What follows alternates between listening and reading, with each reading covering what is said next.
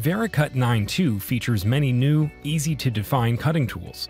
A few examples are conical end mills, spherical end mills, and new thread mills.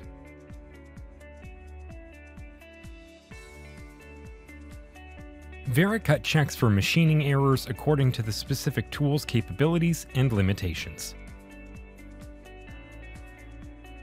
Vericut's dimensioning tool, X-Caliper, can be used to check the dimensions of drilled or threaded holes and also to display machining information for that related hole.